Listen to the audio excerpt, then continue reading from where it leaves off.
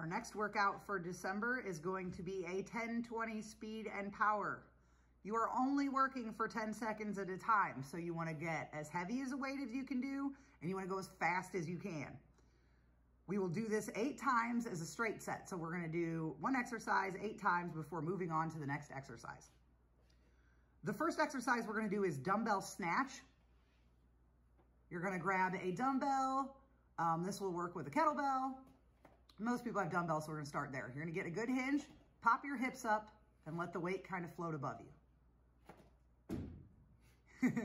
if you're six foot four and have a short basement, I recommend doing this outside. so again, just real fast through the hips, throw the dumbbell up and catch it. Maybe start light on the first week and work into the movement as the month progresses. If you have bad shoulders and shoulder pain, we don't recommend going overhead. We're gonna do fast dumbbell curls. So again, you might wanna go a little heavier since you're not going overhead. Um, and Steve's just gonna do fast curls. Try to keep your body still. Get that weight up. Good. We're going to do four rounds on one side and then four rounds on the other side of our snatches or our curls.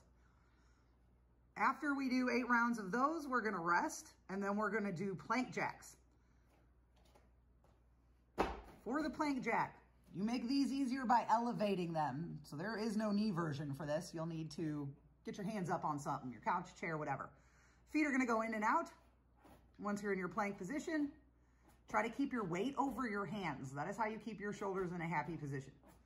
So you're gonna do 10 seconds just as fast as you can and then rest for 20 seconds.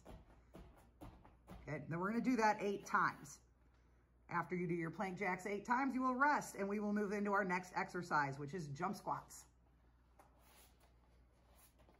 It's only 10 seconds. We're gonna explode. You're gonna sit down and do a good squat and explode up. Good. Good job. If you have really bad knees, you do not have to do the jump. You can just do squats.